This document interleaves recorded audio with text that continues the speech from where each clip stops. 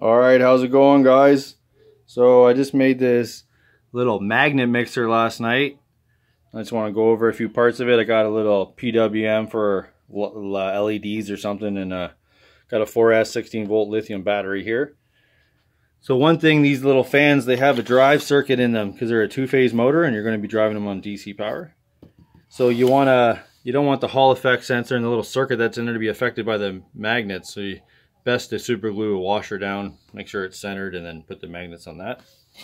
And if you're interested in the circuit, here's the drive circuit for this two-phase motor, the fan motors, what's in there.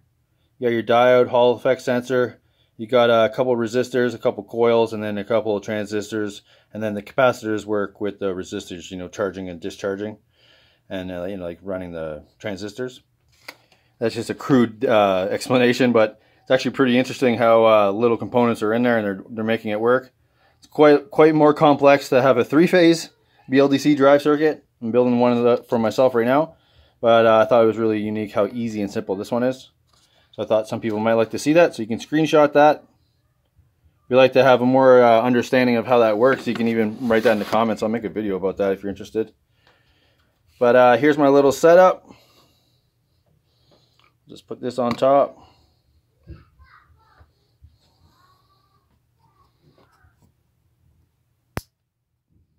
Obviously, normally I just use the bench power supply. I just thought it was cool to hook it up to a battery. Mm, too much. It's alright, we'll slow down.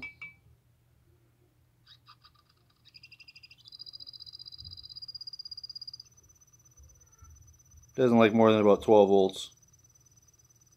Wish it shouldn't since it's a 12 volt fan anyways, so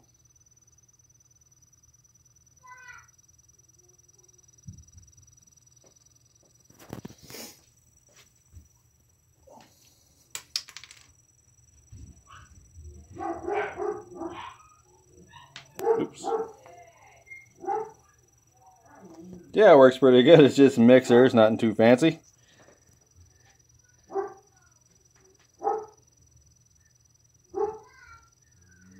I'll probably make a, uh, I'll probably weld a square little or a cylinder tube I'll make out of plexiglass to this with a lid and then I'll have it screwed down to a base and I'll probably put a lid on it and have a a neon little alien body or something and a bunch of stars and fishes. And I'll probably add a little fish bubbler in there or something and I'll make a little craft thing for me and the kids. We'll make that one weekend. But I just thought this was interesting. Some people might like that. And the drive circuit, once again, oops, you need to uh, want to screenshot that. That's the drive circuit that's in the actual fan itself. And if you want to make one of these, just make sure to uh, Make sure the fan's balanced when you run it. Make sure uh,